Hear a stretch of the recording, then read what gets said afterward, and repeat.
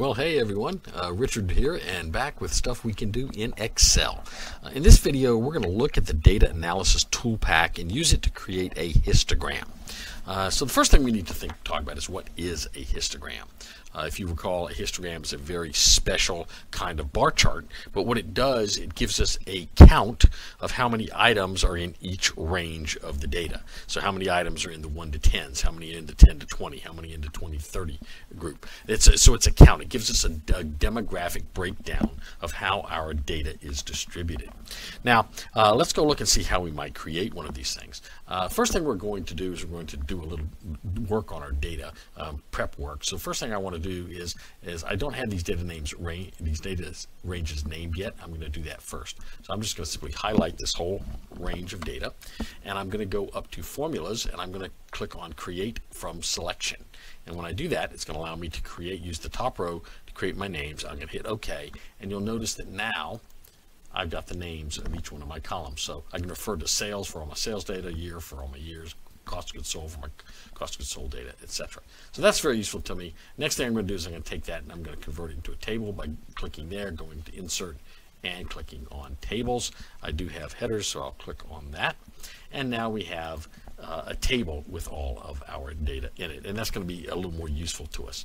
Uh, there's a couple of ways to create a histogram. Uh, we're going to focus on using the data analysis Toolpak, which is really a, a, great way to do this, but I want to show you another way we can do it uh, within Excel. So if we go up to the insert category, well, first thing I'm going to do is I'm going to highlight the sales data, and when I highlight the sales data, I'm now going to go to insert, and I'm going to go to recommended charts and, and click the, just click on that and it's going to drop it down. I'm going to go to all charts and it's going to give me a an option of doing a histogram. It's old, it's down near the bottom. Mine's fifth one from the bottom. I don't know where yours might be. I'll click on histogram and you see that's what it's going to look like is a bar chart like that. And I hit OK it's going to give me these bars. One of the things I want you to notice about this chart is it predefines the ranges for me. It starts at the lowest one, which is 13604. It goes up in 2000 uh, dollar increments and all the way up to 23604 so I've and I can if I right click I can show my data labels and I've got eight within the first 2009 and it's 15604 to 17604 23 in this next range, 5 and 1. Now that's useful to me, I suppose, um, but what if I didn't want these ranges? What if I wanted different ranges in here? I can't really do that with this tool. This tool is going to pre-select my range for me, and I don't really want to do that. I'd really rather have it very simply um, do the ranges I want it to do. So there's a couple things we have to do. First, let's get rid of this. We're going to go use the data analysis Toolpak. So the first thing we have to do is create the bins that we want to put these things in. So bin 1, uh, bin 2, bin 3, I'm going to create several bins here. I don't like bin bond 4, it's bin 4, bin 6, bin 7, bin 8, and bin 9. Now I'm going to go up in the $2,500 increments. Um, now here's what's interesting. It's going to do a bin 10. Oh, why not? Bin 10.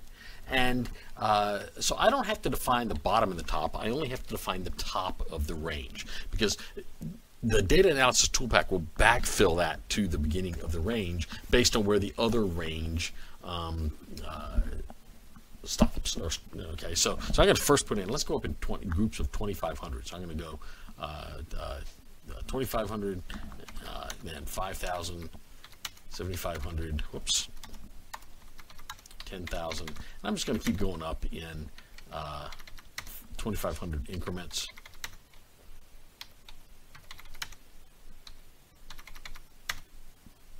Oops.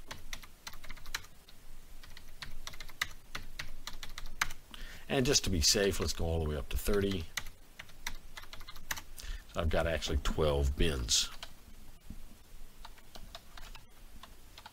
Now, once I've got my bins defined, I can now go do my, uh, use my data analysis toolbox. I'm just going to click anywhere in my data table.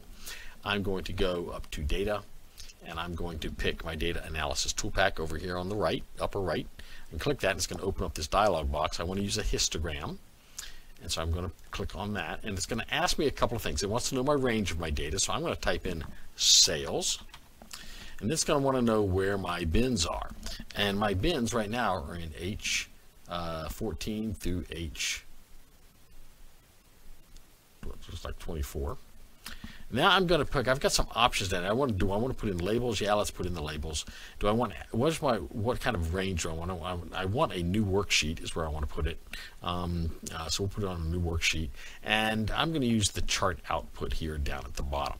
So I'm going to hit OK, and it's going to create for me my histogram and it's got it in the in the in the, the bins that I define. So I can define where I want my bins. I can tell I've got nothing in the twelve thousand five hundred dollar bin. Uh, I've got uh, uh, some in now. If I want to know how many, I just go right click and hit add labels.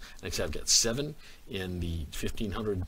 Uh, that, that range with, that stops at 1500 15,000 uh, 8 in the range that stops at 17.5 uh, 27 in the range that stops at 20 uh, up uh, up to 22.5 I got two and up to 25,000 I have one. I have nothing uh, above 25,000 and nothing uh, below 12,500 so that's going to be a nice uh, histogram for me and I can sort of tell where my data is and how it's distributed it gives me a nice picture of that so I can see if anything's uh, grouped particularly in any, any one category. And here we can see it is.